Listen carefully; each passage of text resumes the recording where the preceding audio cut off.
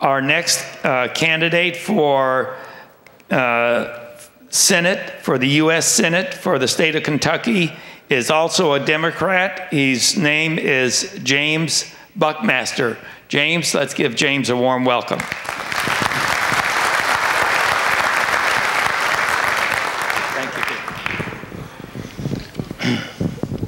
I'm Dr. James Buckmaster. I'm from Henderson, Kentucky. Um, I am uh, a Democrat, as I said. I'm a conservative.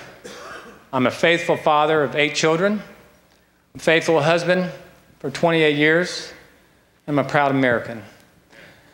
I know that we have a major problem right now with the debt. As a father of eight children, I know how to manage debt. It's difficult. But when I see these numbers going out in Washington, it scares me to death. Now, we have a problem here in Washington, and I think if they'll just come and let the families explain to them how to do this, then they'll learn something. If they would come and sit at our kitchen tables when we balance our checkbooks, we could show them what a budget feels like because we live it every day.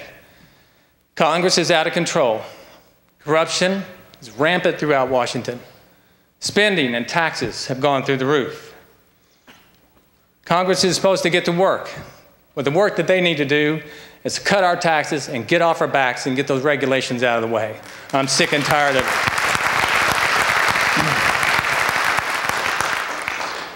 So far, they've pretty well destroyed our economy, and we're going to have to build it back.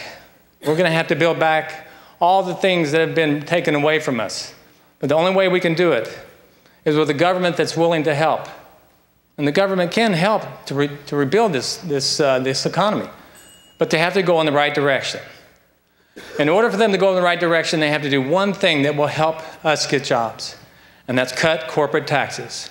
When they do that, then we begin to see the price of things go down, our demand for products go up, factories open, things begin to come alive, and we have our jobs back. There you go.